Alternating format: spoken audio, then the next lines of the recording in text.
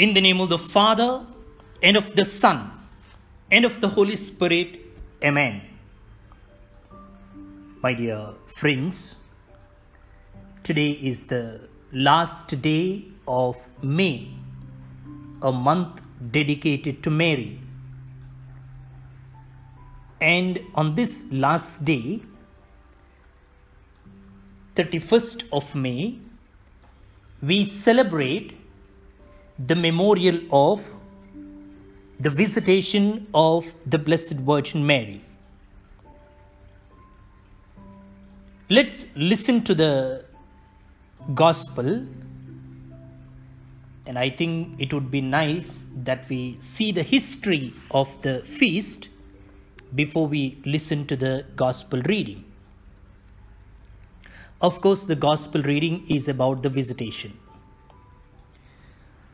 For close to six centuries, the visitation was celebrated on 2nd of July.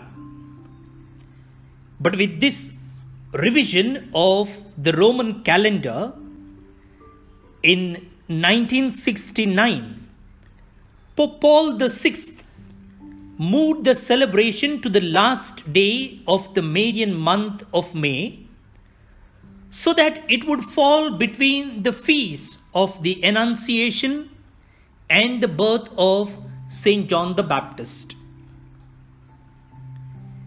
The placement of the feast in the liturgical calendar is obviously out of sync with the account given by Luke.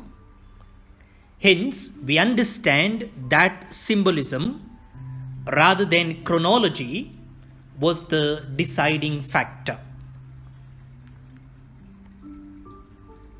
Symbolism rather than chronology was the deciding factor.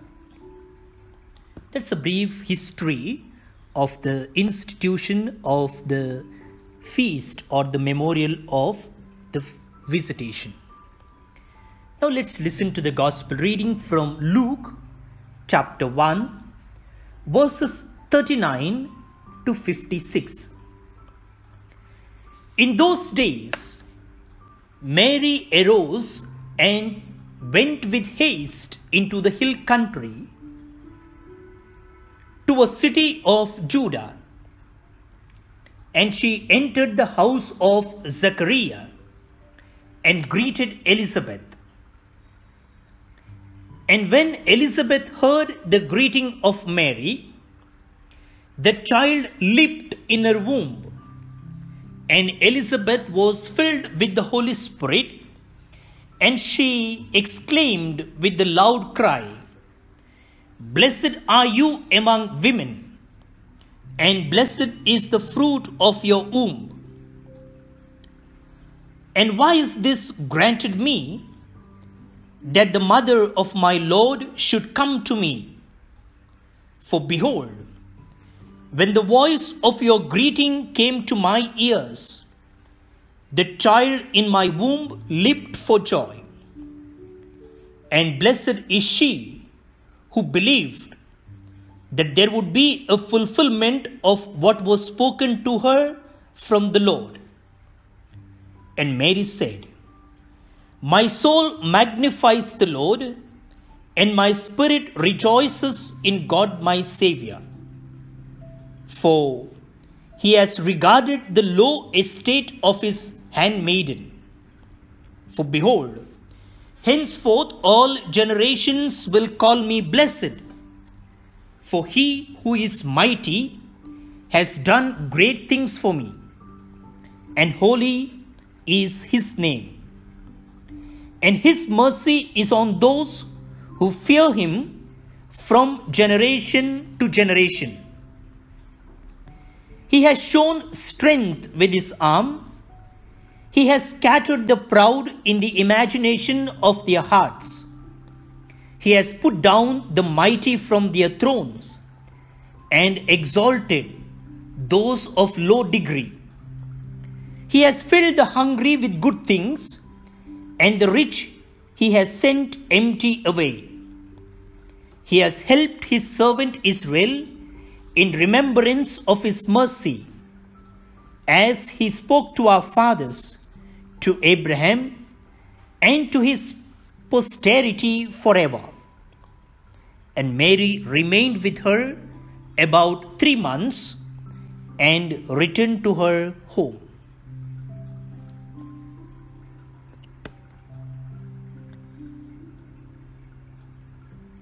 The Gospel of the Lord. Praise to you, Lord Jesus Christ.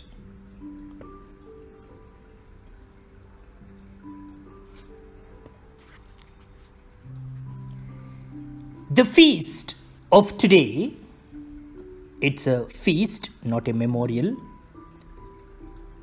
can inspire us in many ways.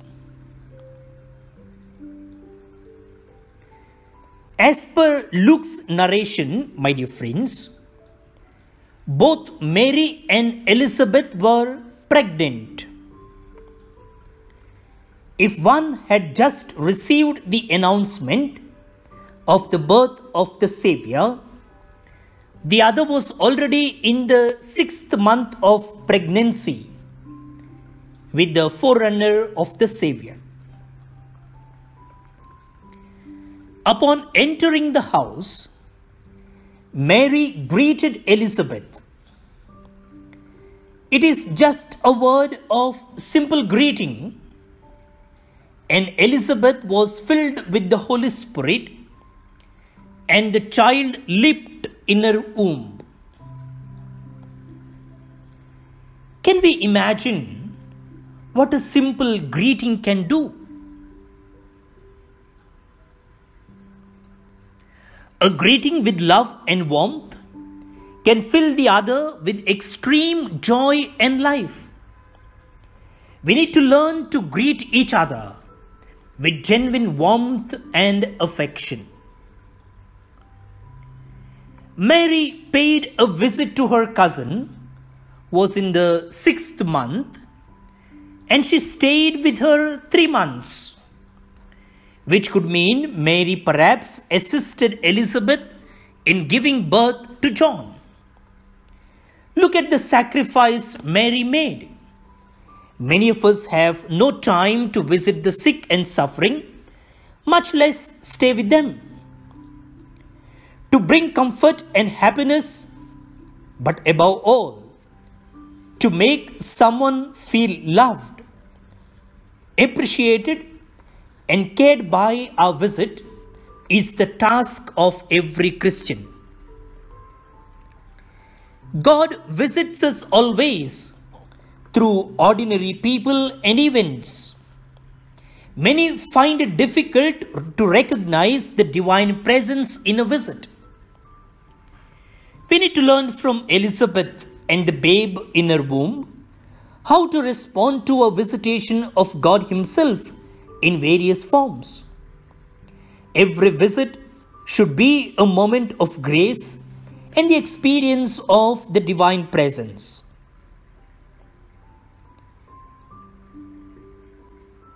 Mary, my dear friends, for the first time today, exercises the function of being a mediatrix.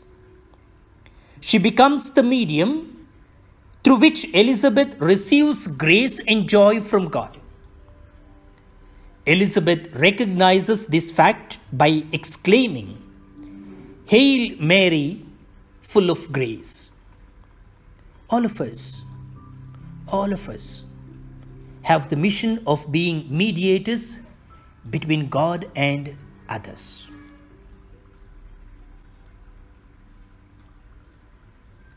Let us pray.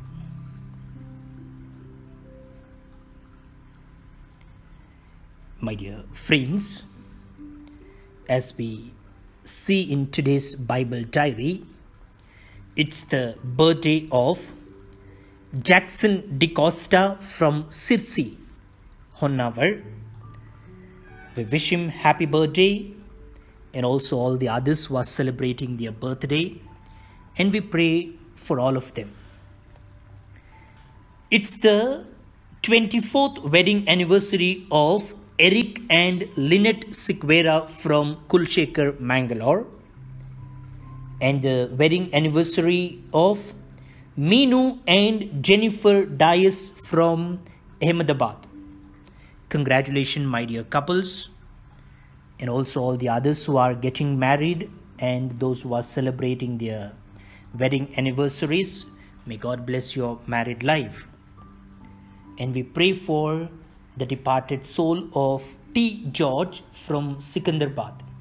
May the Lord grant him eternal rest.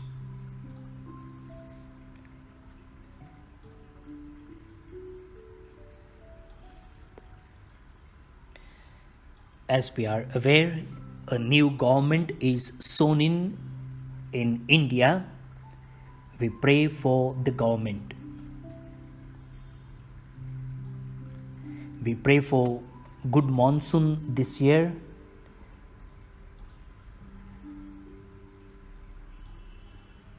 We pray for our children. Many of them have started their schooling. Schools have reopened. We pray for our children and also many others who are, uh, who are writing their exams. We pray for them. O Blessed Virgin Mary, intercede for us that we may bring joy, love, warmth, hope, and peace to as many people as possible. Amen.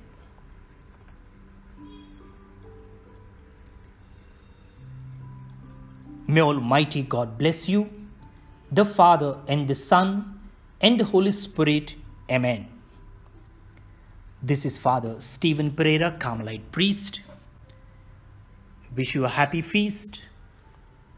And my WhatsApp number is 94812 63229.